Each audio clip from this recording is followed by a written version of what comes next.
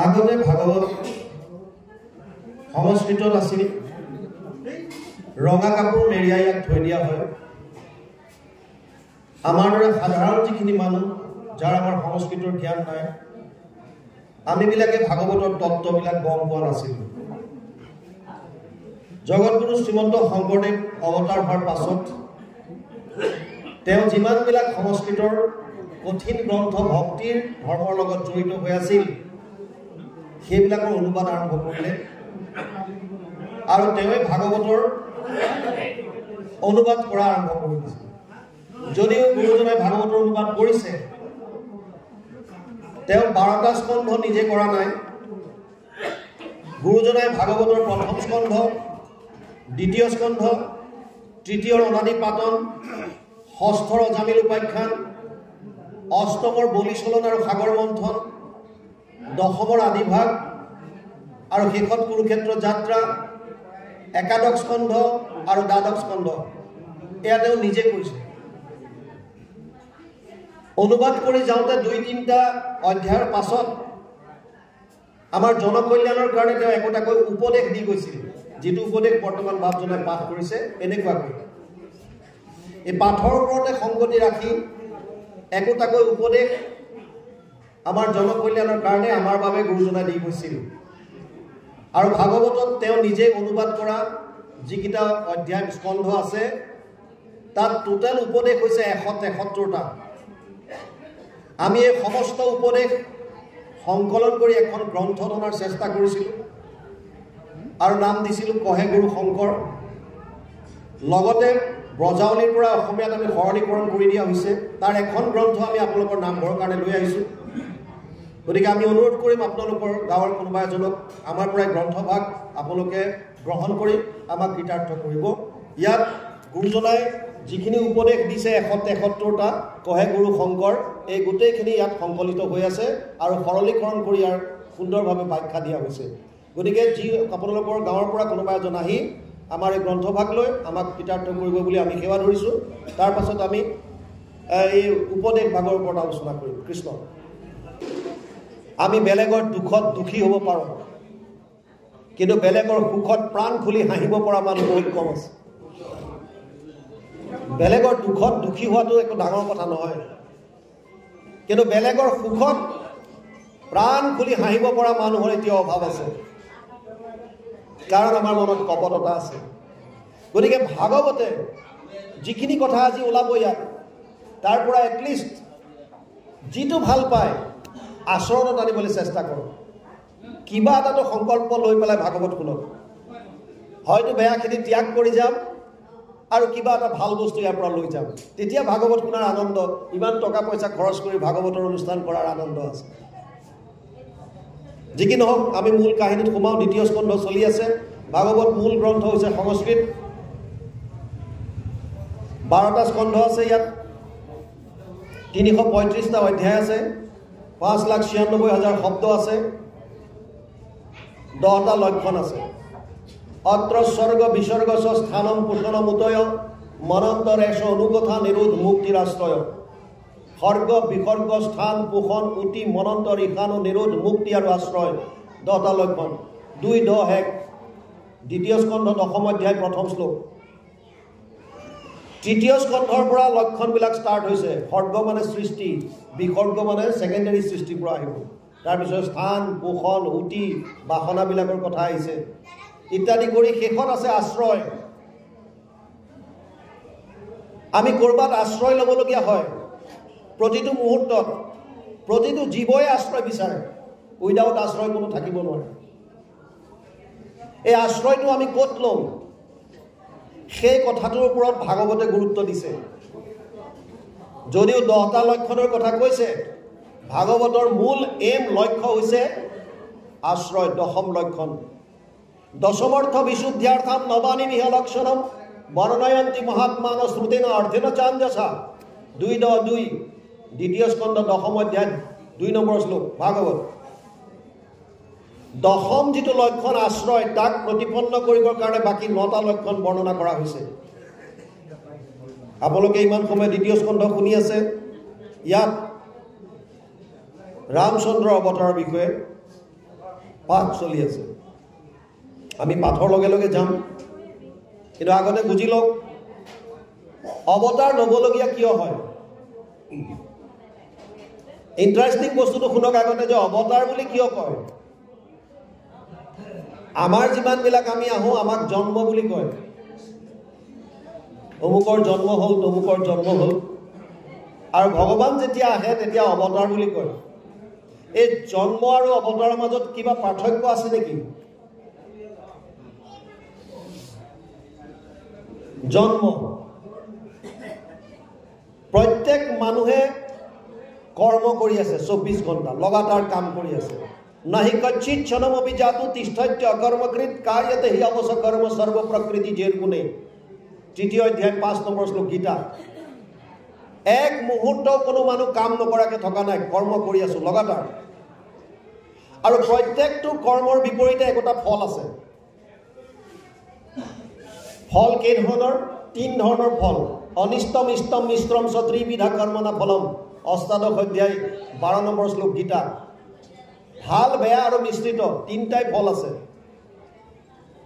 এটাৰ ভালটোৰ পৰা পুণ্য বেয়াটোৰ পৰা পাপ আৰু মিশ্ৰিতটোত পাপ পুণ্যৰ সংমিশ্ৰণ। তে কৰ্ম কৰিলে কৰ্মৰ ফল আহে। ফলবিলাক প্ৰত্যেকটো জীৱৰ এগেইনষ্টত জমা হৈ গৈ আছে। সেইটোক সঞ্চিত কৰ্ম বুলি কয়। তাৰ পৰা এটা অংশ আমি লৈ আহোঁ। যিটো অংশ লৈ আহোঁ তাক প্ৰাৰব্ধ বুলি কয়। এই প্ৰাৰব্ধৰ অনুযায়ী আমি জন্ম লবিয়ে ল'ব ল'বলগীয়া হয় জোনী চিলেকশ্যনো আপোনাৰ কৰ্মফলৰ ওপৰতে নিৰ্ভৰ হৈছে চৌৰাশী লাখ জোনী শাস্ত্ৰত কৈছে চৌৰাশী লাখ জোনী বিছ লাখ সব স্থাৱৰ জানো ন লাখ জলচৰ সব মানো ग्यारह लाख कुरुम कवि गावे पक्षीगण दस लाख बतावे तीस लाख पशु जानहु भाई चार लाख बंदर दुखदाई जब ये चौरासी लाख कट जावे तब कहूँ मानुष तन पावे বিছ লাখ স্থাৱৰ মানে গছ গছনি প্ৰজাতি ন লাখ জলচৰ মানে জলত থকা প্ৰাণী এঘাৰ লাখ কাছৰ দৰে বগাই যোৱা প্ৰাণী চৰাই চিৰিকটিৰ প্ৰজাতি আছে দহ লাখ বিভিন্ন হিংস্ৰ জন্তু আছে ত্ৰিছ লাখ প্ৰজাতি আৰু চাৰি লাখ বান্দৰৰ প্ৰজাতি টোটেল চৌৰাশী লাখ জোনী। এই প্ৰাৰব্ধ যোনে যেনেকুৱা লৈ আহিছে তাৰ ওপৰত নিৰ্ভৰ কৰি আমি জোনীবিলাক পাওঁ। আৰু সেইকাৰণে সেইটোক জন্ম বুলি কৈছে জন্ম। আপোনাৰ মোৰ হাতত সেইটো নাই। আপোনাৰ কৰ্মফল যেনেকুৱা যিটো অংশ লৈ আহিছে সেইমতে আমি জোনীত যাবই লাগিব। যদি পুণ্য আছে দেৱলোকত গ'ল স্বৰ্গত থাকিল। আমি বহুবাৰ হয়তো দেৱতা হৈ আছোঁ কিন্তু কেতিয়ালৈকে থাকিব? যেতিয়ালৈকে যিখিনি পুণ্য লৈ আহিছে সেইখিনি ভোগ কৰালৈকে। তে ত্বম ভোগটোৱা স্বৰ্গলোক বিশালম ক্ষীণে পুণ্যে মৃত্যুলোকম বিচন্তি নৱম অধ্যায় একৈছ নম্বৰ শ্লোক গীতা। তেতিয়ালৈকে স্বৰ্গত থাকিব যেতিয়ালৈকে আপোনাৰ পুণ্য থাকিব। পুণ্য শেষ হোৱাৰ লগে লগে আকৌ ধাক্কা মাৰি পেলাই দিব। আৰু ঠিক তেনেকৈ যদি পাপ তেতিয়াহ'লে অধুজনী কীট পতংগ পোক পৰুৱা পশুজনী। পাপ পুণ্য দুইটা আছে মিশ্ৰিত তেতিয়া মানুহৰ জনী সেইকাৰণে সুখ দুখ দুইটা ভোগ কৰিবলগীয়া হয়। এতিয়া আমাৰবিলাক সেইকাৰণে জন্ম বুলি কৈছে কাৰণ আমাৰ হাতত নাই। মই উদাহৰণ এটা দি বুজাই দিছোঁ। এজন মানুহ অন্ধকাৰ ৰাস্তা এটাত গলি এটাত আগবাঢ়ি গৈছে। খোজকাঢ়ি গৈ আছে। হাতত পোহৰ নাই। হঠাৎ এটা গাঁতত সোমাই গ'ল। বহুত দ এটা ড্ৰেইনৰ দৰে এটা ৰিং এটা বহুৱাই থোৱা বিৰাট দ। ই গম পোৱা নাই সোমাই গ'ল। আৰু একদম তলত পৰি উঠিব পৰা নাই হাহাকাৰ কৰিছে। আৰু তাৰ পৰা চিঞৰি আছে বচাওক বচাওক। তেনেকুৱাতে আন এজন মানুহ গৈছে তাৰ হাতত টৰ্চ আছে পোহৰ আছে। ই কাৰোবাৰ আৰ্তনাত শুনিছে কোনোবাই চিঞৰিছে। আৰু গৈ টৰ্চ মাৰি চাইছে তলত এজন মানুহে চিঞৰি আছে। এতিয়া পিছৰজন মানুহৰ নিজৰ ইচ্ছাৰ কথা তেওঁ যদি ইচ্ছা কৰে নিজে তললৈ নামি সাধনৰ সতি এই মানুহটোক হাতৰ পৰা উঠাব এইটো তেওঁৰ নিজৰ কথা। ইচ্ছা নকৰিলে তাত নোসোমাবও পাৰে। তেওঁ ওপৰৰ পৰাই কিবা কৰি উঠাব পাৰে। ইচ্ছাৰ কথা। নিজ ইচ্ছামতে দৰকাৰ হ'লে তাত নামিব অৰ্থাৎ অৱতৰণ হ'ব আৰু ইচ্ছা নকৰিলে নহ'ব। এই যিজনে নিজ ইচ্ছামতে অৱতৰিত হয় সেইটোক অৱতাৰ বুলি কৈছে। আৰু সেইজনে হৈছে ভগৱান। তেওঁ এই সংসাৰত নিজ ইচ্ছামতে তেওঁ অৱতৰিত হয় নিজ ইচ্ছামতে ইয়াৰ পৰা গুচি যায়। সেইকাৰণে ভগৱানৰ ক্ষেত্ৰত অৱতাৰ বুলি কয়। আৰু আমিবিলাকৰ ক্ষেত্ৰত জন্ম বুলি কয়। এতিয়া ভগৱানে অৱতাৰ কিয় লয়? ইয়াত ৰামচন্দ্ৰৰ বিষয়ে কৈ আছে। গীতা চতুৰ্থ অধ্যায়। ভগৱান কৃষ্ণই অৰ্জুনক কৈছিল যে তোক মই যি যোগৰ কথা কৈ আছো বিষাদ যুগ সাংখ্য যুগ কৰ্মযুগ কৰ্মসন্যাস যুগ যেতিয়া কৈ আছে তাৰ পাছত অৰ্জুনক ক'লে ইমম বিবস্বতে যোগম প্ৰোক্তমান হম অব্যয়ম। বিবস্বান মনুৱে প্ৰাহু মনু ইচ্ছা কৈ অব্ৰমিত এवं পৰম্পৰা প্ৰাপ্তম ইমম ৰাজৰ্ষয়ু বিদু। চ কালেনে সমহতা যোগনস্থ পৰম তপ। চতুৰ্থ অধ্যায় গীতা প্ৰথম আৰু দ্বিতীয় শ্লোক। হে অৰ্জুন তোক মই যি যোগৰ কথা কৈ আছো, এই যোগ আগতে মই বিবস্বানক কৈছিলোঁ, সূৰ্যক কৈছিলোঁ। বিবস্বান মনুৱে প্ৰাহু সূৰ্যই মনুক ক'লে মনুৱে ইক্ষাকুক ক'লে আৰু এনেকৈ পৰম্পৰা হৈ ইটোৱে সিটোক কৈ কৈ আহি আছিল। কিন্তু মাজত ধৰি কালৰ সোঁতত এই যোগবিলাক নষ্ট হৈ গ'ল। তেওঁ অৰ্জুনে ভাবিছে যে কৃষ্ণ আৰু মইতো সখা, আমাৰ দুটাৰ বয়স সমান আৰু সূৰ্যটো বহুত আগৰ। এই সূৰ্য ভগৱানক কেনেকৈ ক'লে? সেইকাৰণে অৰ্জুনে প্ৰশ্ন কৰিছিল, অপৰম ভৱতো জন্ম পৰজন্ম বিবস্বত প্ৰথমে তাত বিজানিয়ম ত্বম আদৌ প্ৰোক্তমানিতি। চতুৰ্থ অধ্যায় চাৰি নম্বৰ শ্লোক গীতা। তোমাৰে মোৰ জন্ম এতিয়া হৈছে। আৰু পৰজন্ম বিবস্বত সূৰ্য বহু আগৰ। এতিয়া সখা তুমি কেনেকৈ সূৰ্যক ক'লা? তেতিয়া ভগৱান কৃষ্ণই ক্লিয়াৰ কৰিছিল অৱতাৰৰ বিষয়ে। বহুনি মে ব্যতীতানি জন্মানি তপচা অৰ্জুন তানি অহম বেদ সৰ্বাণী না ত্বম বেদ পৰম তপ।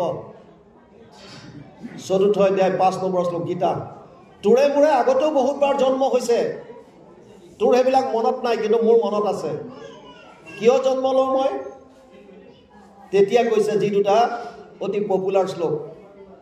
ভগৱান কৃষ্ণই অৰ্জুনক কৈছিল যদা যদা হি ধৰ্মস্য গ্লানিৰ ভৱতি ভাৰত অদ্ভুত্যানম অধৰ্মস্য তদাত্মানম সৃজম্যহম, পৰিত্ৰাণয় সাধুৰাম বিনাশায় দুষ্কৃতাম ধৰ্ম সংস্থাপনাৰ্থায় সম্ভৱামি যুগে যুগে। চতুৰ্থ অধ্যায় সাত আৰু আঠ নম্বৰ শ্লোক গীতা। যেতিয়া যেতিয়া ধৰ্মৰ গ্লানি হয় অধৰ্মৰ উত্থান হয় সাধু সন্ত মহন্তৰ ওপৰত অসৎ প্ৰকৃতিৰ মানুহৰ যেতিয়া অত্যাচাৰ বৃদ্ধি পায় হে অৰ্জুন মই তেতিয়া অৱতাৰ লওঁ। তিনিটা মুখ্য কাম পৰিত্ৰাণয় সাধুনাম সন্তসকলক ৰক্ষা কৰিবৰ কাৰণে বিনাশায়ত দুষ্কৃতাম দুষ্কৃতিকাৰীক নাশ কৰিবৰ কাৰণে ধৰ্ম সংস্থাপনাৰ্থায় ধৰ্মক পুনৰ সংস্থান কৰিবৰ কাৰণে সংস্থাপন কৰিবৰ কাৰণে। এই তিনিটা মূল কাৰণত মই অৱতাৰ লওঁ। অজস্ৰ অৱতাৰ আছে। তাৰ ভিতৰত চৌব্বিছটা মূল চতুৰ্বিংশতি অৱতাৰ বুলি কীৰ্তনত দিছে কি আমাৰ গুৰুজনাই লিখি থৈ গৈছে। তাৰ ভিতৰত আকৌ দহটা অৱতাৰ মূল দশ অৱতাৰ বুলি আমি যিটো কওঁ। মৎস্য কুৰ্ম বৰাহচ্য নৰসিংহ অথ বামন ৰাম ৰামচ্য ৰামচ্য বুদ্ধ কলকিচতে দশ দহটা লক্ষণৰ কথা কৈছে মৎস্য কুৰ্ম যদি আমাৰ মহাপুৰুষ মাধৱদেৱে মৎস্য কুৰ্ম নৰসিংহটো প্ৰথমতে আনিছে কোট মিলাবৰ কাৰণে শব্দ মিলাবৰ কাৰণে আনিছে কিন্তু ছিকুৱেঞ্চটো হৈছে মৎস্য কুৰ্ম বৰাহচ্য তাৰ পাছত নৰসিংহ আহিছে নৰসিংহ অথবা বামন প্ৰথমতে আহিছে মৎস্য জলত আছে। তাৰপিছত আহিছে কুৰ্ম। অকণমান তললৈ বগাই আহিব পৰা। ছিকুৱেঞ্চবিলাক চাব। তাৰপিছত আহিছে বৰা। ই যাব পাৰে জংঘলতো।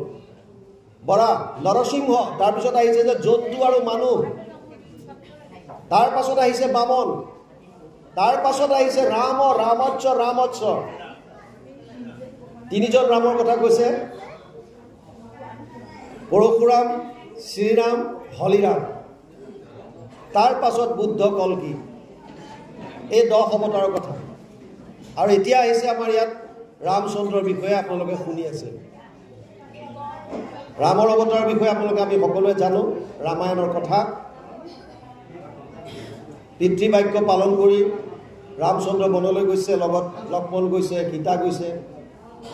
ৰাৱণে সীতাক হৰণ কৰি লৈ গৈছে। আৰু তাৰ পাছত কেনেধৰণে তেওঁ বানৰৰ সহায় লৈ কি ধৰণে সীতাক উদ্ধাৰ কৰিলে আৰু বনত থাকোঁতে কি কি কৰিছে এই গোটেইখিনি পাঠ অলৰেডি গৈছে। কোনে কেনেকৈ খবৰ দিলে জটায়ুৱে লগ পাই দহি পাছে ৰাম ৰায় কৃপা গুণ কৰিলে বিদিত যি যিখিনি কাহিনী হ'বলগীয়া আছিল ভৱিষ্যতে সেইখিনি ইয়াত কৈছে ভাগৱতত। আৰু ইয়াৰ পাছত ইয়াত লাহেকৈ এতিয়া আহিছে যে সেতু বন্ধন কৰিলে। ফাইনেলি গম পালে কোনে হৰণ কৰি নিছে তাৰপিছত সেতু বান্ধিলে। বন্ধাই মহাশিলা সেতু লোকৰ নিষ্ঠাৰৰ হেতু কীৰ্তি বিস্তাৰিবে কৃপাময়। পাছে ভৰি গতি কৰি সসৈন্য সমুদ্ৰ তৰি সুবেলা ৰহিবা ৰামদেৱ ভালুক বানৰ যত প্ৰেমে হোৱা অনুমত ৰাম ভয় পৰিৱন্ত সেই ইয়ালৈকে গৈছে পাঠ তাৰপিছত আমি এতিয়া পাঠৰ লগে লগে যাম। কি আছে পাঠত অকণ পাঠ যাওক তাৰপিছত আমি আলোচনা কৰিম। কৃষ্ণ কৃষ্ণ আমি এতিয়া আহোঁ উপদেশৰ ফাললৈ। পদে কৈছে ঔবা নৰলোক হৰি ভজিওক ধৰা এইটো উপদেশ। এৰা আল জাল জীৱা কতকাল জৰা ভৈল পৰৱেশ ঔবা নৰলোক। জগতগুৰু শ্ৰীমন্ত শংকৰদেৱৰ দৃষ্টিত কোনো এটা পাৰ্টিকুলাৰ সম্প্ৰদায়ক লৈ পেলাই তেওঁ এক শৰণ হৰিনাম ধৰ্ম প্ৰচাৰ কৰা নাই। কোনেও ক'ব নোৱাৰে যে এইটো পেটেণ্ট কেৱল আমাৰ বুলি। না কলিতা না কোচ না ব্ৰাহ্মণ না কোনোবা না কোনোবা কোনেও ক'ব নোৱাৰে। কিয়? গুৰুজনাই সমস্ত বিশ্ববাসীৰ মানুহক উদ্দেশ্য কৰি কৈছে উবা নৰল সমস্ত মানৱ জাতিৰ কাৰণে কৈ থৈ গৈছে। ইয়াত কোনেও ক'ব নোৱাৰে যে কেৱল শংকৰ গুৰু আমাৰ। সমস্ত মানৱ জাতিৰ কাৰণে তেওঁ উদ্দেশ্য কৰি উপদেশ দিছে উবা নৰলোক। কি কৈছে? হৰি ভজি উপ। কিয় ক'লে হৰিক ভজন কৰাৰ কথা? বিভিন্ন দেৱ দেৱতা আছে। কেৱল হৰিক ভজন কৰাৰ কথা কিয় ক'লে? চাওক ভাগৱত আৰম্ভ হৈছিল নৈমিষাৰণ্যত। নৈমিষাৰণ্যত আঠাইছ হাজাৰ ঋষিয়ে যেতিয়া ভাগৱত শুনা আৰম্ভ কৰিছে সুতমুনিৰ পৰা কৃষ্ণ সুতমুনি আসনত বহুৱাই লৈ সৌনক সৌনকে প্ৰশ্ন কৰিছে সৌনক কোন? নৈমিষে সুতমাসীন অভিবাদ্য মহামতীম কথামৃত ৰসস্বাদ কুশল সৌনক অব্ৰবীত পদ্মপুৰাণ উত্তৰখণ্ড ভাগৱত মহাত্ম প্ৰথম অধ্যায় তিনি নম্বৰ শ্লোক কথামৃত ৰসস্বাদ কুশল কথা অমৃত পান কৰাত যিজন কুশল শ্ৰৱণ কৰাত যিজন কুশল সেইজনক সৌনক বুলি কৈছে। সৌনকে সুতক প্ৰশ্ন কৰিছিল তেতিয়া কি বুলি? সৌনক বদতি শুনা সুত মহামানী পৰম পাতকী কলি পাইলে হেন জানি আৰম্ভিলো যজ্ঞ আশী সহস্ৰ বছৰ হোম ধুমে ধূম্ৰবৰ্ণ ভৈলা কলেবৰ যিটো কৰ্ম কৰোৱাটো নাহিকে বিশ্বাস আপোনাৰ আয়ুস কৰিলোঁ ব্যৰ্থে না। সৌনক আদি আঠাইছ হাজাৰ ঋষিয়ে কলি মানুহৰ জনকল্যাণৰ অৰ্থে এক হাজাৰ বছৰ ধৰি যজ্ঞ কৰিছিল। জনকল্যাণৰ অৰ্থে কিন্তু তেওঁলোকে দেখা পালে যে হাজাৰ বছৰ যজ্ঞ কৰাৰ পাছত যজ্ঞৰ ধোঁৱাৰে তেওঁলোকৰ শৰীৰ ধোঁৱা বৰণীয়া হৈ গ'ল। কিন্তু তাৰ পৰা একো ফল নাপালে। এইকাৰণে সুতমুনিক যেতিয়া ভাগৱতৰ আসনত বহুৱালে তেতিয়া সৌনকে এটা প্ৰশ্ন কৰিছিল। তত্ৰ তত্ৰ অঞ্জস আয়ুষ্মান ভৱতা য়দ বিনিচ্ছিতম পুংসাম একান্ত শ্ৰেয় তৎ না শংসি তোমাৰ হাসি এক এক ন প্ৰথম স্কন্ধ প্ৰথম অধ্যায় ন নম্বৰ শ্লোক ভাগৱত। পুংসাম একান্ত শ্ৰেয়। মানুহৰ কাৰণে আটাইতকৈ কল্যাণকাৰক মাৰ্গ কি? অৰ্থাৎ আমি যিটো আনন্দৰ পিছত দৌৰি আছোঁ ৰাত দিন হাহাকাৰ কৰি এই পৰম আনন্দটো ক'ত পাম? সৌনকে প্ৰশ্ন কৰিছিল কল্যাণকাৰক মাৰ্গটো কি? কিন্তু এটা কথা তেতিয়াই ক্লিয়াৰ কৰি দিছিল যে চাওক হে মুনিবৰ কলিযুগৰ মানুহৰ কেইটামান বস্তু একেবাৰে কম যেনে আয়ুস।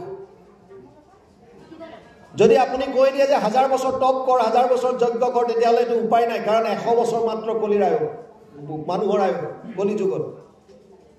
সেইকাৰণে সৌনুকে প্ৰথমেই ক্লিয়াৰ কৰিছে প্ৰায়ে না অলপায়ুষ সভ্য কলৌ অস্মিন যুগে জনা।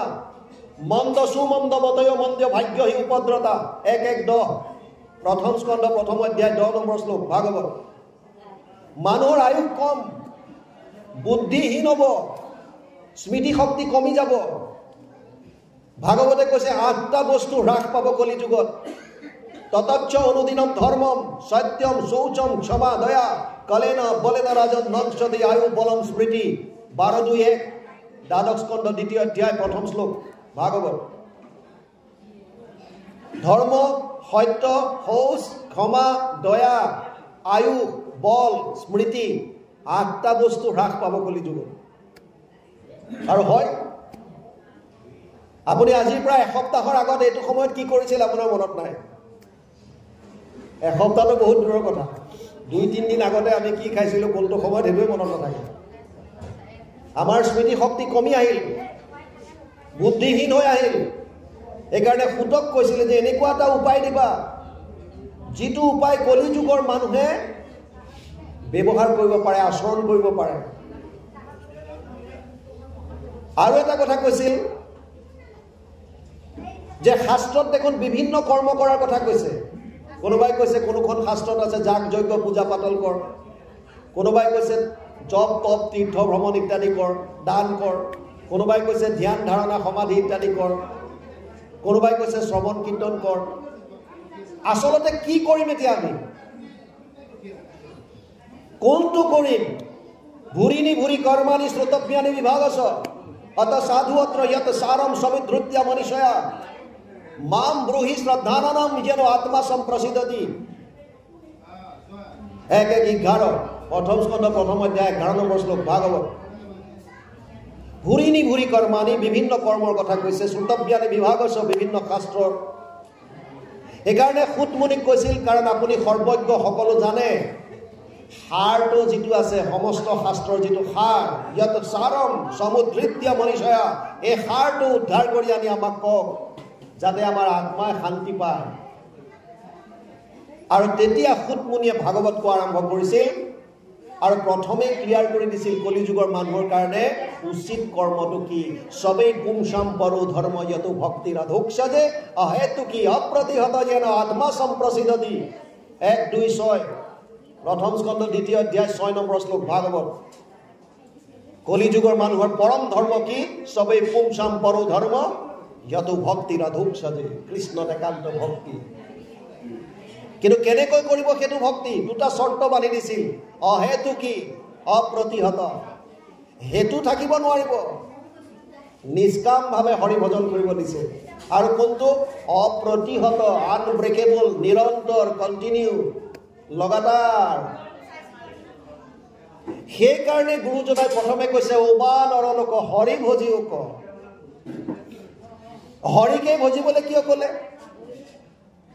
চাওক আমাৰ হিন্দু ধৰ্মত ঈশ্বৰ ভজন কৰাৰ পাঁচটা থাল আছে। যিসকলে শিৱক ইষ্ট বুলি মানে তেওঁলোক শৈৱ বুলি কয় শৈৱ যিবিলাকে শক্তি পূজা কৰে ইষ্ট বুলি মানে তেওঁলোকক শাক্ত বুলি কয়। যিবিলাকে গণেশক গণেশক ইষ্ট বুলি মানে তেওঁলোকক গানপত্য বুলি কয়। যিবিলাকে সূৰ্যক ভগৱান বুলি সূৰ্য পূজা কৰে তেওঁলোকক সৌৰ বুলি কয়। আৰু যিসকলে বিষ্ণুক ইষ্ট বুলি মানে তেওঁলোকক বৈষ্ণৱ বুলি কয়। বুজি পাইছে? মহাপুৰুষ মাধৱদেৱ এজন ঘোৰ শাক্ত আছিল। ঘোৰ শাক্ত। আগম শাস্ত্ৰত এজন বিদগ্ধ পণ্ডিত আছিল তেওঁ। তেওঁ এবাৰ যেতিয়া বান্দুকাৰ পৰা আহিছে বান্দুকৰ পৰা আহি থাকোঁতে বাটতে গম পালে যে মাকৰ নৰিয়াত পৰিছে মাক অসুখ হৈছে ভনী জোঁৱাইক ৰামদাসৰ ওচৰত দি থৈ গৈছিল মাকক চোৱা চিতা কৰা দায়িত্ব। আৰু বাটত যেতিয়া গম পালে যে মাকৰ নৰিয়া শাক্তধৰ্মী এজন লোক হিচাপে তেওঁ শক্তিৰ ওচৰত প্ৰাৰ্থনা কৰিলে হে দেৱী মা মোৰ মাক ভাল কৰি দিয়া মই এযোৰ পাঠা ছাগলী উচৰ্গা কৰি দিম।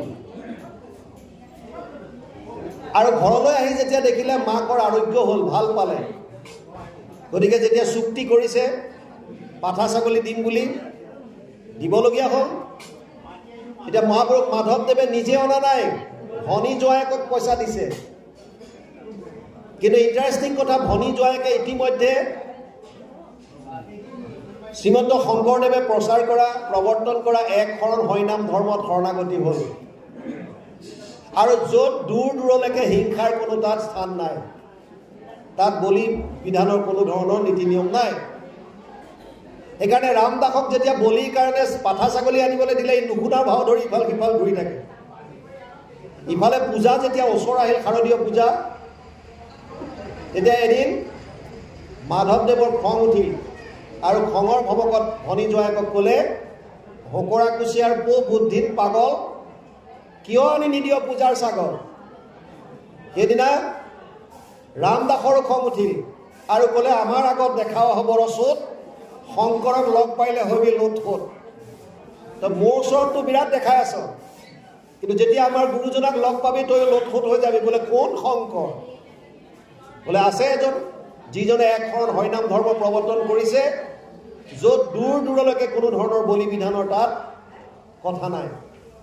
বোলে মোক লৈ ব'ল মই যিমান শাস্ত্ৰ জানো মইতো পাইছোঁ বলি বিধান আছে বুলি মোক লৈ ব'ল মই তৰ্ক কৰিম তেওঁৰ লগত বোলে ঠিক আছে আজি বেলি গ'ল কাইলৈ ওলাবা। পিছদিনা লৈ গৈছে। মাধৱদেৱে ভাবি গৈছে ময়ো এজন শাস্ত্ৰজ্ঞ ময়ো বিদগ্ধ গতিকে শংকৰদেৱক মই সেৱা নকৰোঁ। মই তৰ্ক কৰিম। আৰু মনত ভাবি গৈছে হয় কিন্তু যেতিয়া গুৰুজনক ভাগৱতৰ আসনত বহি থকা নামঘৰত দেখা পালে তেওঁৰ যিটো ৰূপ দেখা পালে লগে লগে আহি সেৱা ল'লে। যিটো ৰূপৰ বৰ্ণনা পিছত গুৰু ভতিমাত কৰিছে দৰশিত সুন্দৰ গৌৰ কলেবৰ জৈচন পুৰবৰ কাষ আৰু ওচৰলৈ আহোঁতে শংকৰদেৱে ৰামদাসক সুধিলে এওঁ কোন? ৰামদাসে চিনাকি দিলে দেখিলে অঁ গুৰুজনাৰ নিজৰ ফেমিলিৰে মনু বুলি এজনী ছোৱালীক বিয়া দিছিলে বাপে ক'লে আৰে মনুবাই ল'ৰা ইমান ডাঙৰ হ'লা হা কিয় আহিলা? ৰামদাসে ক'লে আপোনাৰ সৈতে তৰ্ক কৰিবলৈ আহিছে। এওঁ কৈছে বলি বিধান আছে শাস্ত্ৰত আৰু আপুনি আমাক শিকাইছে যে কোনো ধৰণৰ বলি দিয়াৰ প্ৰয়োজন নাই কেৱল হৰি ভজন কৰিলে আমি ঈশ্বৰৰ নাম ল'লে পৰমানন্দ লাভ কৰিব পাৰিম। গতিকে আপোনাৰ সৈতে তৰ্ক কৰিবলৈ আহিছে। শংকৰদেৱে ক'লে আহা মাধৱ বহা। আৰু মাধৱদেৱ এনেকুৱা এলাপেচা নহয়। তেওঁ প্ৰকৃত এজন পণ্ডিত শাস্ত্ৰজ্ঞ। গতিকে বিভিন্ন আগম শাস্ত্ৰৰ উদ্ধৃতি তেওঁ দি গ'ল। আৰু গুৰুজনাই ভাগৱতৰ এটা এটা শ্লোক মাতি কাটি গৈ আছে। শেষত গুৰুজনাই ভাগৱতৰ পৰা এটা শ্লোক আনিলে চতুৰ্থ স্কন্ধৰ পৰা। যথা তৰুৰ মূলে নিচেচানে ন তৃপ্যন্তি তদ স্কন্ধ ভুজ উপশাখা। প্ৰাণ যথেন্দ্ৰিয়া নাম তথা সৰ্ব অৰ্জনম অচ্যুতেজ্য চাৰি একত্ৰিছ চৈধ্য চতুৰ্থ স্কন্ধ একত্ৰিছ নম্বৰ অধ্যায় চৈধ্য নম্বৰ শ্লোক ভাগৱত বৃক্ষৰ মূলত যদি দেৱানী জল ত্ৰিপিটি হুৱন্ত তাৰ পত্ৰ পুষ্প ফল ডালে পাতে সিঞ্চে যদি মূলত নেদয় কদাচিতো ডালে পাতে ত্ৰিপিটি নহয়। ভোকাটোৰ নৰে যদি অন্নক ভুঞ্জয় ইন্দ্ৰিয়ৰ প্ৰীতি তাৰ সাধে আতিশয় ভোজন বিহীনে পিন্ধে বস্ত্ৰ অলংকাৰ। ইন্দ্ৰিয়ৰ একো প্ৰীতি নসাধ হয় তাৰ আপোনাৰ ভোক লাগিছে। আপুনি যদি অন্ন গ্ৰহণ কৰে তেতিয়াহে ইন্দ্ৰিয়ৰ তৃপ্তি হ'ব। কিন্তু ভোক লাগোতে যদি হাতে কাণে নাকে যদি আপুনি এইবিলাক বস্ত্ৰ পিন্ধি থাকে তেতিয়া অলংকাৰ পিন্ধি থাকে তাৰ পৰা একো লাভ নহ'ব। মহাপুৰুষ মাধৱদেৱে লগে লগে গুৰুজনাৰ ওচৰত আকৌ সেৱা ল'লে। গুৰুজনাই ক'লে আৰে মাধৱ তুমিতো এবাৰ মোক সেৱা কৰিছিলা আকৌ কৰিলা যে? বোলে হয়। আগতে আপোনাক শিৰোমণি ভূঞা হিচাপে কৰিছিলোঁ। আৰু এতিয়া আপোনাক মই আধ্যাত্মিক গুৰু হিচাপে স্বীকাৰ কৰিছোঁ। আপুনি মোক শৰণ দিয়ক। আপুনি কোৱাটোৱে আচল সত্য। মই যিমান জানিছিলোঁ চব মিছা। সেইকাৰণে ইয়াত কৈছে হৰি ভজি উক। ওবা নৰলোক হৰি ভজি উক। কাৰণ কলি যুগত বেলেগ কৰ্ম কৰাৰ অধিকাৰে আমাৰ নাই। অধিকাৰে নাই, যদিও আমি কৰি আছোঁ। তিনিটা মাৰ্গৰ কথা উদ্ধৱক কৈছে বৈকুণ্ঠ পয়ানৰ প্ৰাক মুহূৰ্তত। যোগ ত্ৰায়ময়ী প্ৰোক্তা নৰণম শ্ৰেয় বিধিচ্ছয় জ্ঞানম কৰ্মম চ ভক্তিম চ না উপায় অন্য অস্তি কুদ্ৰাচিত এঘাৰ বিশ ছয়, একাদশ স্কন্ধ বিংশতি অধ্যায় ছয় নম্বৰ শ্লোক, ভাগৱত। তিনিটা মাৰ্গ আছে। এটা হৈছে কৰ্ম মাৰ্গ এটা জ্ঞান মাৰ্গ, এটা ভক্তি মাৰ্গ। কৰ্ম মাৰ্গ য'ত যাগ যজ্ঞ পূজা পাতল ইত্যাদিৰ দ্বাৰা ঈশ্বৰৰ উপাসনা কৰিব পাৰিব। শাস্ত্ৰত আছে। দ্বিতীয়টো জ্ঞান মাৰ্গ য'ত নিৰ্গুণ নিৰাকাৰ ব্ৰহ্মক উপাসনা কৰে। আৰু তৃতীয়টো হৈছে ভক্তি মাৰ্গ। তেতিয়াহ'লে যদি তিনিটা মাৰ্গ আছে আমাক ভক্তিৰ ওপৰত কিয় জোৰ দিছে? উদ্ধৱক ক্লিয়াৰ কৈছে জ্ঞান কৰ্ম ভকতি কহিলো কৰি ভেদ ভকতি পৰম পন্থ দিলো পৰিছে আৰু গুৰুজনাই লিখিছে জ্ঞানতো কৰ্মটো কৰি ভকতিহে মহাশ্ৰেষ্ঠ। ভকতি মধ্যত শ্ৰেষ্ঠ দুই। শ্ৰৱণ কীৰ্তন এইটো আকৌ ধৰিলে কয় যিটো বিধিৰ কিংকৰ সিটো নৈ। ভক্তিক কিয় দিলে গুৰুত্ব? বাকী দুটাৰ প্ৰতি কি আছে দুশ্মনী? কি দ্বেষ আছে? একো দ্বেষ নাই। কিন্তু যেনেকৈ কৰিব লাগে কলিযুগৰ মানুহে সেইখিনি তেনেকৈ কৰিবৰ সামৰ্থ্যতা নাই সক্ষমতা নাই। উপায় এটাই। হৰিনাম কীৰ্তনত নাহি স্থান কাল পাত্ৰ নিয়ম সংযম একো বিধি। হৰিনাম শ্ৰৱণ কীৰ্তন কৰা। তাত একো নীতি নিয়ম নাই তুমি লেট্ৰিনত বহিও কৰি থাকা কোনো স্থানৰ কথা নাই। ৰাম ৰাম ৰাম ৰাম কৈ আছা কোনে কি কয়? একো নাই। সেইকাৰণে গুৰুজনাই ইয়াত কৈছে হোবা নৰলোক হৰি ভজি উপ। হৰি কিয় ভোজন কৰিবা? কাৰণ হৰি সৰ্বশ্ৰেষ্ঠ। অকল কোৱাই নহয়। যিটো প্ৰস্থানত্ৰয়ী বেদান্ত উপনিষদ উপনিষদেও কৈছে স্মৃতি প্ৰস্থানৰ গীতাটো কৈছে মত্ত পৰতৰম নান্যত কিঞ্চিত অস্তি ধনঞ্জয় মই সৰ্ববিদম প্ৰথম সূত্ৰে মণিগণায়ব। সপ্তম অধ্যায় সাত নম্বৰ শ্লোক গীতা। মত্ত পৰতৰম নান্যত কিঞ্চিত অস্তি ধনঞ্জয় মোতকৈ শ্ৰেষ্ঠ আৰু কোনো নাই। যেনেকৈ এধাৰী মালাত সূতাডালত মণিবিলাক গাঁঠি থোৱা থাকে তেনেকৈ সমস্ত জীৱ ৰাখি মোৰ লগত গাঁঠ খাই আছে। অকল কোৱাই নহয় তেওঁ বিশ্বৰূপ দৰ্শন কৰাই অৰ্জুনক দেখুৱাই দিলে। গতিকে সেইজন ঈশ্বৰক ইয়াত ভজন কৰাৰ কথা কৈছে ওবা নৰলোক হৰি ভজি উপ ধৰা এইটো উপদেশ। এৰা আল জাল জীৱা কটকাল জৰা ভৈল পৰবে। কিমান দিন জীয়াই থাকিবা? এশ বছৰ মানুহৰ আয়ুস পুৰুষৰ আয়ুস শত বৰিষ সাক্ষাৎ। তাহাৰ অৰ্ধেক যায় বিফলে নিদ্ৰাত। বিংশতি বৰিষ যায় বালক ক্ৰীড়াত আৱৰ বিংশতি যায় জৰা অৱস্থাত জীৱা অৱশেষ আয়ু থাকয় যুৱাত সিও কামে ক্ৰোধে লোভে যায় অজ্ঞানত। এশ বছৰৰ ব্ৰেকআপ দিলে কেনেকৈ? আধাটো বোলে শুই থাকোঁতে যায়। বালক কালত বিছ বছৰ গ'ল বৃদ্ধ অৱস্থাত বিছ বছৰ গ'ল পঞ্চাছ বিছ বিছ চল্লিছ নব্বৈ নব্বৈ গ'ল থাকিল দহ বছৰ। জীৱা অৱশেষ আয়ু থাকয় যুৱাত সিও কামে ক্ৰোধে লোভে যায় অজ্ঞানত আমি নজনাৰ কাৰণে আল্টিমেটলি পাৰ কৰি দিলোঁ সেইকাৰণে গুৰুজনাই কৈছে জৰা মানে বৃদ্ধ অৱস্থা কিহৰ কাৰণে ৰৈ আছা হৰি ভজন কৰা এৰা আল জাল জীৱা কতকাল কোন সময়ত কাৰ মৃত্যু আহে কোনেও গম নাপায় এই মুহূৰ্তত এনেকৈ আছোঁ কোনেও ক'ব নোৱাৰে কোনজন আমাৰ মাজৰ পৰা আগতে যাব আৰু গেৰেণ্টি নাই আপুনি ক'ব নোৱাৰে যে অসুস্থজনহে আগতে যাব। মিছা কথা। সুস্থ সবল আগতে গুচি যাব পাৰে। যোনে যিমান দিন প্ৰাৰব্ধত লৈ আহিছে সি সিমান দিন থাকিব। আয়ু কৰ্মম চ বিদ্যম চ বিদ্যা নিধনমেব চ পঞ্চৈতস্য সৃজন্তে গৰ্ভস্থস্য দেহি নাম। পাঁচটা বস্তু মাতৃ গৰ্ভত থাকোঁতে ফাইনেল হৈ যায় বুলি কৈছে। কি? আয়ু কৰ্ম। আয়ু কৰ্মম চ বিত্তম চা টকা পইচা ধন ধান। বিদ্যা কিমান জ্ঞান হ'ব নিধনম এবছৰ কেনেকৈ মৃত্যু হ'ব? চব ফাইনেল আগতে হৈ আহিছে। গতিকে কৈছে গুৰুজনাই এৰা আল জাল জীৱা কটকাল জৰা ভৈল পৰৱেশ বুঢ়া হৈ আহিলাই দিন গৈয়ে আছে। কিমান দিন জীয়াই থাকিবা? আমি সকলোৱে ভাবোঁ আমি বহুত দিন জীয়াই থাকিম। সেইকাৰণে আমি সংগ্ৰহত লাগোঁ। আমাক এইটো লাগে সিটো লাগে সিটো লাগে সিটো লাগে। শ্মশানত গ'লে আমি বহুত চিন্তা কৰোঁ বৈৰাগ্য ভাৱ পূৰা আহে তেতিয়া। যেতিয়া গুচি কাটি যেতিয়া মানুহ জ্বলাই থাকে তেতিয়া চবেই কথা পাতে মিছা এইবিলাক সংসাৰ মিছা মিছা। দেখিলি নে কালি মোৰ সৈতে সন্ধিয়া কথা পাতিছিল। আজি গুচি গ'ল নহয়। তেতিয়া এনেকুৱা ভাৱ আহিব যেন এওঁ আৰু কোনোদিন সংসাৰৰ প্ৰতি মোহ নহয় একদম ঘোৰ বৈৰাগ্যত সোমাই গ'ল।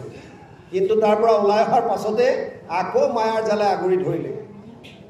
সেইকাৰণে গুৰুজনাই লিখিছে এৰা আলজাল জীৱা কতকাল জৰা ভৈল পৰৱে অন্য দেৱী দেৱ নকৰিবা সেৱ নখাইবা প্ৰসাদতাৰ মূৰ্তিকো নচাইবা গৃহু নপকিবা ভক্তি হৈব বেবিচাৰ অন্য দেৱী দেৱ নকৰিবা সেৱ একত যদি বিশ্বাস আছে আপোনাৰ ইয়াৰ চাইণ্টিফিক কাৰণবিলাক বুজি যাব। মানুহে বেলেগ ধৰণে ভাবে বেলেগ ধৰণে কাৰো প্ৰতি দ্বেষ ভাৱ লৈ পোৱা নাই। সূৰ্য ৰশ্মি যেতিয়া বিচৰিত হৈ আছে সিঁচৰিত হৈ আছে সকলো জেগাত সমানে পৰিছে। আমি ধুনীয়াকৈ তাত চলা ফিৰা কৰি আছোঁ।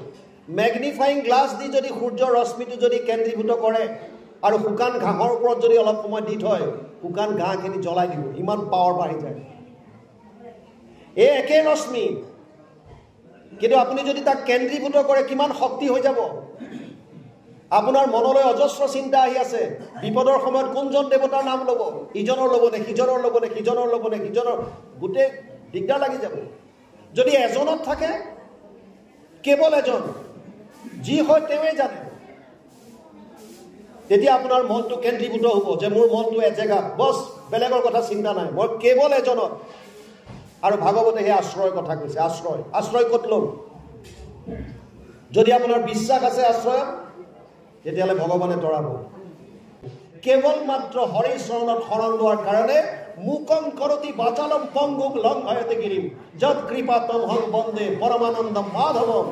যাৰ দয়া বলে কোৰা পৰ্বত চৰাৱে মুখে ৰাৱ নাহি যাৰ কিন্তু কবি হৈ ভগৱানে যেতিয়া কৃপা কৰিব কাক কিমান ওপৰলৈ লৈ যায় কোনেও ক'ব নোৱাৰে। সেইকাৰণে ইয়াত গুৰুজনাই কৈছে কেৱল মাত্ৰ হৰিত শৰণ লোৱা। অন্য দেৱ দেৱতাক আপুনি পূজা কৰাৰ কোনো কথা নাই। কোনো তাত একো নাপাব। কাৰণ সেইবিলাকেও যিটো শক্তি পাইছে যিটো তেওঁলোকৰ বল বীৰ্য আছে সেয়া ভগৱানৰ পৰাহে পাওঁ পোৱা। সেইকাৰণে ইয়াত কৈছে অন্য দেৱী দেৱ নকৰিবা সেই নখাইবা প্ৰসাদতাৰ মূৰ্তিকো নচাইবা গৃহ নপকিবা ভক্তি হৈ বেবিচাৰ যদি বিভিন্ন ঠাইত মনটো লগাই দিওঁ তেতিয়াহ'লে আমাৰ ভক্তি বেবিচাৰ হ'ব। এনেৰে ভক্তি বেবিচাৰ হৈ আছে আমাৰ। কাৰণ মন এটা আৰু উপাসনাৰ ঠাই আছে দুটা। এফালে ভগৱান এফালে মায়া। টকা পইচা ধন ধান পুত্ৰ পৰিবাৰ চব মায়া। আমি যদি মনটো যদি ইয়াত লগাই থৈছোঁ তেতিয়াও ভক্তি বেবিচাৰ। মনটো কেৱল আৰু কেৱল ভগৱানৰ চৰণত দিয়াৰ কথা কৈছে। সাতশ শ্লোকৰ গীতা পাঁচশ চৌসত্তৰটা ভগৱান কৃষ্ণই অৰ্জুনক কৈছে। শেষত গৈ কৈছে সৰ্বগুহ্যতম ভূয় শ্ৰীনুৱে পৰমাম বচ ইষ্টসীমে দৃঢ়মিতি তত বক্সামিতে হিতম। অষ্টাদশ অধ্যায় চৌষষ্ঠি নম্বৰ শ্লোক গীতা। গোপনীয়ৰ পৰা গোপনীয় কথাটো তোক এতিয়া কওঁ শুন। অৰ্জুনক কৈছে কি ক'লে? মন মনা ভৱ মদ ভক্তা মদ্যাজী মাম নমস্কৰো মামে বৈশ্যসী সত্যন্তে প্ৰতিজানে প্ৰিয়সীমে অষ্টাদশ অধ্যায় পঁয়ষষ্ঠি নম্বৰ শ্লোক গীতা। মোতে মাত্ৰ সদা দিয়া মন মোৰ ভক্ত হোৱা সৰ্বক্ষণ। মোকে পূজা মাত্ৰ মোকে কৰা নমস্কাৰ। কহিলো তোমাক সত্য মানি পাইবা সুখে মোক মহামানি তুমি প্ৰিয়তম সুহৃদ সখীয়া মা। কেৱল মনটো বিচাৰিছে। আৰু মনটো যদি আমি য'ত ত'ত লগাই থওঁ তেতিয়াহ'লে ভক্তি বেবিচাৰ হ'ব। সেইকাৰণে কৈছে অন্য দেৱী দেৱ নকৰিবা সেৱ। তাৰপাছত কৈছে এক কৃষ্ণ দেৱ কৰিও কষেব ধৰিও তাহান নাম। কৃষ্ণ দাস হোৱা প্ৰসাদ ভুঞ্জিয়া হস্তে কৰা তান কাম। কেৱল এক দেৱ এক কেৱ এক বিনে নাই কেৱ। আৰু এইটো এনেই কোৱা নহয়। আপোনাক ৰন্তু শইকীয়াই কৈছে বুলি মানিব নালাগে। হিন্দু শাস্ত্ৰৰ প্ৰস্থান ত্ৰয়ী আছে। তিনিটা প্ৰস্থান দিছে শ্ৰুতি প্ৰস্থান স্মৃতি প্ৰস্থান আৰু ন্যায় প্ৰস্থান। এই প্ৰস্থান ত্ৰয়ীত কি আছে সেইখিনি কথা মানিব লাগিব। তিনিটা প্ৰস্থানত কি কৈছে? শ্ৰুতি প্ৰস্থান বেদান্ত উপনিষদ স্মৃতি প্ৰস্থান গীতা ন্যায় প্ৰস্থান ব্ৰহ্মসূত্ৰ। শ্ৰুতি প্ৰস্থানত আছে বেদান্ত বেদৰ সাৰ ভাগ বেদান্ত উপনিষদ। ব্যাসদেৱে ভাগৱতত লিখিছে সৰ্ব বেদান্ত সাৰম হি শ্ৰী ভাগৱতম ইচ্ছতে বাৰ তেৰ পোন্ধৰ দ্বাদশ স্কন্ধ ত্ৰয়োদশ অধ্যায় পোন্ধৰ নম্বৰ শ্লোক ভাগৱত। ব্যাসদেৱে লিখিছে বেদান্তৰ সাৰ হৈছে ভাগৱত। সমস্ত বেদান্ত সাৰ মহাভাগৱত শাস্ত্ৰ। গতিকে প্ৰস্থানত্ৰয়ী শ্ৰুতি প্ৰস্থান মানে বেদান্তৰ সাৰ হৈছে ভাগৱত। ভাগৱতে কি কৈছে এইটো মানক? শ্ৰুতি প্ৰস্থান গীতা স্মৃতি প্ৰস্থান গীতা গীতাত কি কৈছে মানৱ? আৰু ন্যায় প্ৰস্থান ব্ৰহ্মসূত্ৰ। এইটো অল অভাৰ ইণ্ডিয়া আপুনি য'তে নাযাওক কিয়? প্ৰস্থান ত্ৰয় মানিবই লাগিব যদি আস্তিক। আৰু যদি আস্তিক নহয় নাস্তিক হয় তেতিয়াহ'লে বেলেগ কথা। কিন্তু আমাৰ কি হৈছে ধৰ্মৰ নামত যিখিনিয়ে বেপাৰ চলাই আছে আচল কথাটো নকয়। সত্য কথাটো মানুহৰ ওচৰত প্ৰকাশ কৰাৰ তেওঁলোকৰ সৎ সাহসখন নাথাকে। ভগৱানে অৰ্জুনক কৈছিলে তই কাৰ্য অকাৰ্য মোৰ পৰা শুনি লাভ নাই। তস্মাৎ শাস্ত্ৰম প্ৰমাণম তে কাৰ্য অকাৰ্য ব্যৱস্থিত জ্ঞাত শাস্ত্ৰ বিধানোক্তম কৰ্ম কৰ তুমি হৰ হচি সস্তাদশ অধ্যায় চৌব্বিছ নম্বৰ শ্লোক গীতা তোৰ কাৰ্য আৰু অকাৰ্য কৰ্ম কৰ্মত শাস্ত্ৰই প্ৰমাণ শাস্ত্ৰত কি কৈছে বুজি ল ভাগৱত শ্ৰুতি প্ৰস্থানৰ মূল বেদান্ত বেদান্তৰ সাৰ হৈছে ভাগৱত স্মৃতি প্ৰস্থান গীতা আৰু ব্ৰহ্মসূত্ৰ ব্ৰহ্মসূত্ৰৰ টিকা ভাষ্য হৈছে ভাগৱত গৰুৰ পুৰাণত লিখিছে অৰ্থ অয়ম ব্ৰহ্মসূত্ৰ নাম। অৰ্থাৎ ব্ৰহ্মসূত্ৰৰো টিকা ভাষ্য ভাগৱত। তাৰমানে আল্টিমেটলি দুখন গ্ৰন্থ আহিল। শ্ৰুতি প্ৰস্থান ন্যায় প্ৰস্থানৰ মূল গ্ৰন্থ হৈছে ভাগৱত স্মৃতি প্ৰস্থানৰ হৈছে গীতা। সেইকাৰণে কোনোবা এজন মহান ব্যক্তিয়ে লিখি থৈ গ'ল শাস্ত্ৰৰ উত্তম। কি বুলি লিখিলে? গীতা ভাগৱত আমি সকলোৱে জানো। আমি সকলোৱে জানো শাস্ত্ৰৰ উত্তম গীতা ভাগৱত বুলি। যদি গীতা ভাগৱত শাস্ত্ৰৰ উত্তম হয় তেতিয়াহ'লে গীতাত কি কৈছে? পাঁচশ চৌসত্তৰটা শ্লোকৰ শেষত গৈ পেলাই অষ্টাদশ অধ্যায়ত অৰ্জুনক ক'লে সৰ্বধৰ্মান পৰিত্যাজ্য মাম একম শৰণম ব্ৰজ। অহম ত্ব সৰ্বপাপে মোক্ষস্বামী মা সূচ। অষ্টাদশ অধ্যায় ছয়ষষ্ঠি নম্বৰ শ্লোক গীতা। সৰ্বধৰ্ম এৰি এক শৰণ সাক্ষাৎ সুদৃঢ় বিশ্বাসে সখী নৈক আমাক। নকৰিবা ভয় হেৰা কৰোঁ অংগীকাৰ সমস্ত পাপত মই কৰিম নিস্তাৰ চব বাদ দি মোৰ ওচৰত আহা। এইটো কি শংকৰদেৱে কৈছে নেকি? ভগৱান কৃষ্ণই চাৰে পাঁচ হাজাৰ বছৰ আগত কুৰুক্ষেত্ৰত অৰ্জুনক কৈছে। কিমানবিলাক ধৰ্মগুৰু আহিলে কোনেও সৎ সাহস কৰিব নোৱাৰিলে যে কৃষ্ণই কৈ যোৱা কথাটো এক শৰণ মানে এক দেৱ এক কেৱ এক বিনে নাই কে। কোনেও ক'বলৈ সাহস কৰা নাই। কেৱল গুৰুজনাই বল্ডলি ক'লে। গুৰুজনাই যিটো ধৰ্ম এক শৰণ হৰিনাম ধৰ্মৰ প্ৰচাৰ কৰিছে সেইটো সম্পূৰ্ণৰূপে প্ৰস্থানত্ৰয়ীৰ ভিতৰত থকা বস্তু। গীতাত কৈছে এক শৰণ সৰ্বধৰ্মাত পৰিত্যাজ্য মামেকম শৰণম ব্ৰজ কেৱল মোৰ চৰণত আহা। মুঠ শৰণ লোৱা। আৰু ভাগৱতে কি ক'লে? ওঠৰ হাজাৰ শ্লোক। বাৰটা স্কন্ধ তিনিশ পঁয়ত্ৰিছটা অধ্যায় পাঁচ লাখ ছিয়ান্নব্বৈ হাজাৰ শব্দ। ওঠৰ হাজাৰ শ্লোক। শেষৰ শ্লোকটোত কি কৈছে? একেবাৰে শেষত ওঠৰ হাজাৰৰ শেষত। সাৰাংশটো কি দিলে? এখন গ্ৰন্থৰ শেষৰটো সদায় চাব লাগে। কি কৈছে? ভাগৱতে ওঠৰ হাজাৰ শ্লোকত কোৱাৰ পাছত শেষত ক'লে নাম সংকীৰ্তনম জৈশ্য সৰ্ব পাপ প্ৰণাশনম প্ৰণাম দুখ সমানাতম নমামি হৰিম পৰম। বাৰ তেৰ তেইছ শেষৰ শ্লোকটো ওঠৰ হাজাৰ শ্লোকৰ লাষ্ট শ্লোকত কৈছে নাম সংকীৰ্তনম জৈশ্য সৰ্ব পাপ প্ৰণাশনম। কেৱল হৰিৰ নাম যদি কোনোবাই লৈছে সমস্ত পাপৰ পৰা পৰিত্ৰাণ তেওঁ পাব। কেৱল নাম। তেতিয়া গুৰুজনাইনো কি ভুল ক'লে? এক শৰণ হৰি নাম শাস্ত্ৰৰ সন্মত গীতা ভাগৱতৰ বেছ সেইকাৰণে ইয়াত কৈছে এক কৃষ্ণ দেৱ কৰিও কষেব ধৰিও তাহান নাম কৃষ্ণ দাস হৈয়া প্ৰসাদ গুঞ্জিয়া হস্তে কৰা দান কাম। কৃষ্ণৰ দাস হৈ তেওঁৰ প্ৰসাদ তেওঁৰ প্ৰসাদ শুনা প্ৰত্যেকটো দ্ৰব্য যিটো আপুনি গ্ৰহণ কৰিবলৈ আনে কৃষ্ণৰ চৰণত অৰ্পণ কৰি দিয়ক। পত্ৰম পুষ্পম ফলম দ্বয়ম জুমে ভক্তিয়া প্ৰয়োজ্যতি তদহম তে ভক্তি বৰ্হিতম স্নামী প্ৰয়তাত্মন নৱম অধ্যায় ছাব্বিছ নম্বৰ শ্লোক গীতা। যি আছে চব মোক অৰ্পণ কৰা। আৰু এনেদৰে জীৱনৰ প্ৰতিটো কৰ্ম ভগৱানৰ চৰণত অৰ্পণ কৰিব লাগে। যদ কৰচি যদ অশ্নচি যদ জুহচি দদাচি যদ যদ তপস্যচি কৌন্তে তৎ কুৰুষ মদৰ্পণম নৱম অধ্যায় সাতাইছ নম্বৰ শ্লোক গীতা।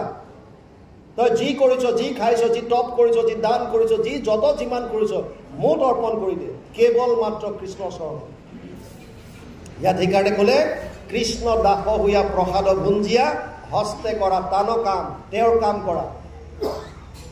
তেওঁৰ কাম কি হ'ব? জনকল্যাণৰ কাৰণে যিখিনি কৰিছে আপুনি।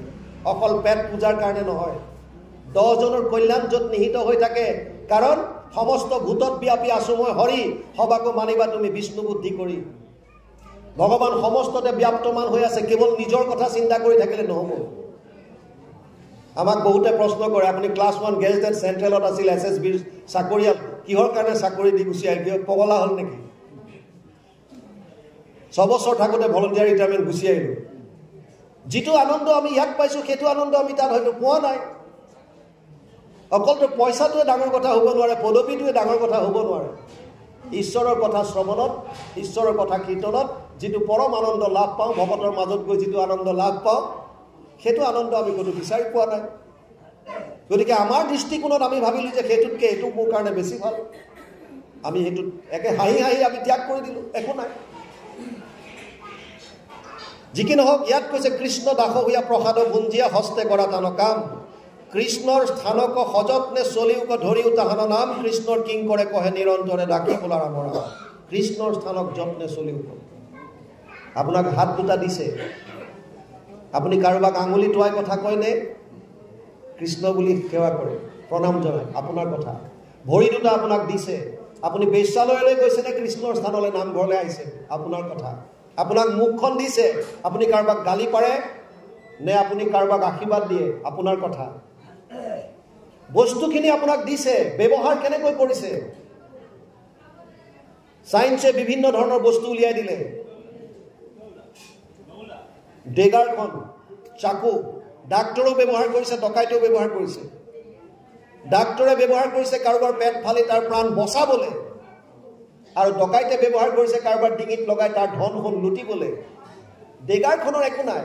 আপুনি ব্যৱহাৰ কেনেকৈ কৰিছে? সেইকাৰণে কৈছে কৃষ্ণৰ স্থানক যত্নে চলিব আপোনাক ভৰি দুটা দিছে।